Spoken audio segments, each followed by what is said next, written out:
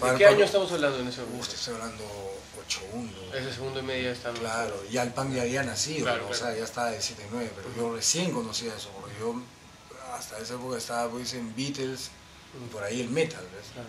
Pero Tenía- fundamentalmente por revistas, antes que por discos. Sí, sí, claro. Era más fácil en ese de momento, claro. Yo no tenía para, para tocar discos, claro. Yo me acuerdo que escuchaba por cassette, era la vaina. Esa era la onda. La primera difusión por... Claro. De un disco se grababan 200 cassettes. Ujú. Y si había una falla, eh, salía la falla en los 200 cassettes. Entonces tú veías eso, era alucinante, ¿no? Lo- y es el principio de la piratería, ¿no? Claro. De alguna forma, ¿no? Porque sin malintencionar, ¿no? La cosa, ¿no? Pero no había recursos para conseguirte un cassette. O sea, perdón, un disco original. Claro. Pero venía un pata de- del Marca o de Santa María que había podido viajar y Ujú. había tenido el disco, venía con el disco y le grababa pues, a un pata el otro al otro pata, y así, ahí. O sea, el no que se vendieran las copias. No, no, no, no había eso. Ya eso lo empezaron a hacer algunos que ya se pusieron moscas, ¿no? Que también, a ver, los tíos de alguna forma se conectaban y por correo les llevaban discos, ellos tenían su disco y decían, ¿quieres que te grabe? Sí, ya, ¿cuánto? Y toda la gente venía y te pagaba pues, 5 soles, grábame un cassette de Six and the Bunch, ¿no? Que esa era la época, de Cure, que empezaba ya, pues, un poco más caleta, Clash. Y en ese momento había alguna restricción para ofrecer esos discos, era como que se le podía dar a cualquiera, o tenías que... que Había una que- cojudez de algunos que decían que todavía no estás preparado para escuchar Ajá. esta música, ¿no? mucho para ti, esas tonterías, ¿no? Porque siempre nacen en los grupos, que en principio es medio broma, pero en el fondo había eso, ¿no? Que me parecía... Cierto tan- recelo. Claro, era tan ridículo porque era un tío que normal, digamos, que no tenía mucho, mucho dinero, muchos recursos, pero se alucinaba un sibarita de la música que, y que no estabas tú preparado para todavía para escuchar Como que un estatus con la música. Cojudeces, elitismo, ¿no? Ajá.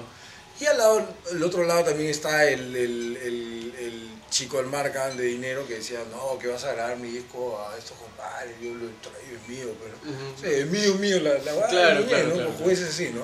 Entonces veías que los extremos eran tontos, ¿no? Si la idea era difundir, ¿no? Ujú. Pero bueno, igual la gente se recurseaba de alguna forma, que eso era lo interesante, creo, ¿no? Entonces, ¿tu disco favorito ya cuando estabas así aprovisionado? ¿Cuál es? Yo me acuerdo, mi- siempre me gustó mucho más Clash que Pisto. Ujú. Piso me parecía su onda chévere y todo, pero eran unos payasos para mí, ¿no? En caso Clash me pareció completamente auténtico y sobre todo atrevidos e intrépidos porque no solo hicieron punk, sino probaron un montón de música y otras tendencias. Supieron fusionar, mezclar, viajar, conocer gente, ¿no? En caso, para mí eran mucho más músicos que Pisto, Claro. mucho más, así, ¿no? Y, y la onda de Clash me, me- me gustó bastante. ¿no? Esos eran mis clásicos para mí, ¿no? Ujú. Clash, básicamente. Para mí sí, yo parto de Clash. Y a partir de ese Clash, ¿te, surge algún interés por las otras músicas que mezclaba Clash además del punk? Claro, porque en esa época me acuerdo que yo empecé escuchando Clash y música inglesa, punk inglés. ¿no? Y Gonzalo es el que trae el punk o el hardcore californiano. ¿no? Ujú. Trae Suicide Tennis, Minor Threat, Seven Seconds, eh, Descendants. Claro, uff, unos grupos así alucinantes. La verdad que ahorita me pongo así a recopilar, ¿no? Y antes escuchaba, claro, The Sharks, eh, ¿quién más así inglés? Peter and, and the Test Tube Babies. ¿quién más había así? Basco, Claro. ¿no? Y también entra la parte española. Sí, la Polla Record, Claro.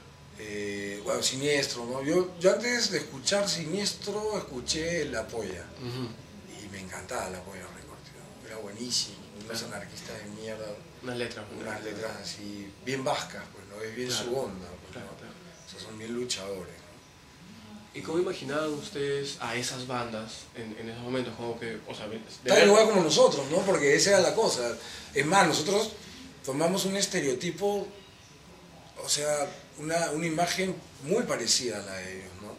Y después, después cambia con el hardcore. Ujú. Pero el principio, cuando yo en la época autopsia y toda esa onda, era la casaca de cuero, el jean y, y las botas.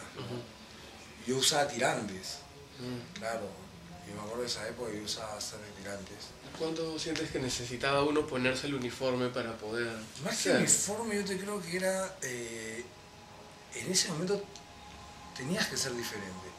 Veníamos de una, de, un- de una época social que en los 70 hubo un apogeo musical que lo mató la dictadura, ¿no? Y trató de meterse todo y se apagó todo eso, que es válido en, en un punto, pero las marginaciones y los extremos no te llevan tampoco nada. Entonces, de alguna forma, ¡bum! volvió a salir eso. ¿no? Y eso creo que identificaba a la gente del resto de, de las personas que, que alucinaban, pues, eh, no sé, de esa clase de música que había en esa época. Siempre estaban los Rolling Stones, siempre estaba toda esa onda, ¿no? Entonces acá en Perú cuando empezaron a salir los primeros punk, cuando empezó a caer el primer punk, yo me acuerdo que, o vi el primer punk en Perú, fueron ellos y ellas de caretas. ¿Me entiendes? Tú dices, ¿qué pasó ¿Qué? acá? Claro. ¿Eso qué? Te estoy hablando 8-1. ¿Qué es lo que sucede? Que el punk ya había reventado en Europa Claro. y se había puesto De algunos personajes que habían vivido allá, habían ido a fiestas sociales acá, vestidos de punk. Y tenía entonces, yo me acuerdo que decía, en el polo era, era una man- un pata sin mangas, o sea, un polo sin mangas, y acá se había puesto punk, unos lentes, hacía lo divo, ¿no? en esa época, y los pelos parados. Eso era ser punk. Y yo dije, man, eso es punk, dije, ¿no? O sea, era guachafazo, pero me, me atrajo. O sea, esa diferencia, y empecé a averiguar. Eso fue lo- el principio de todo, ¿no? Pero yo ya venía escuchando eh, de todo, ¿no? También me acuerdo que, que venía escuchando. Pero de ahí me integré, porque eso era, la, digamos, la música comercial que había en el momento, ¿no? Claro. Pero cuando empecé a escuchar el metal, el metal nadie lo escuchaba ni lo pasaban por radio. ¿ves? Ujú. Cuando empecé a escuchar ACDC, puta, me pareció alucinante, ¿no? Porque era diferente a los arreglitos, estaba, Claro, claro. estamos hablando de un huevón crudo que le metió la huevada y reventó, ¿no? Esa parte me empezó a traer, ¿no?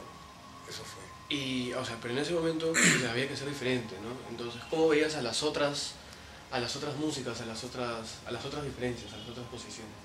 La veía, yo la veía normal, ¿no? como te digo, había el metal y el pan había una diferencia. Y a mí me decían, eh, me acuerdo que nos formamos autopsia, me decían Maiden, porque por ahí Ujú, con Maiden, entonces me jodía Silvio, que era el cantante de autopsia, jodí, me jodía así, me decía, Maiden, Maiden, ¿no? Que la puta madre. Pero yo me acuerdo, lo, lo interesante de eso, claro, no solo era la chaqueta de cuero y las botas, me acuerdo que la gente no tenía qué mierda ponerse porque no había, y se ponía lo que se le ocurría, se pintaba el polo. Nosotros nos pintábamos lo- lo- lo- los polos porque no podíamos comprar polos ni nos traían los polos. ¿eh? Entonces, ¿qué es lo que veíamos? Veíamos de una foto, de un afiche, de un flyer que había venido en un disco, que eso lo tenía, lo habían sacado fotocopia, para la fotocopia, la fotocopia puta, completamente. De eso sacábamos un molde y lo poníamos en el polo y lo pintábamos. Y Gonzalo era bien capo por esa hueá. ¿sí? Y nos mandaban a hacer polo después. Venía la gente y decía, puta, quiero el de Piston, quiero el de Inocentes, quiero el de Cole, o muchas de esas Sí. huevadas, ¿no? El de Clash, y luego así unos polazos, compadre, puta, alucinante. Que tampoco era muy difícil, acuérdate que era la onda del pan y bien fotocopia, ¿no? Claro. Entonces era un contraste nomás, y pintado, le quedaban de puta madre.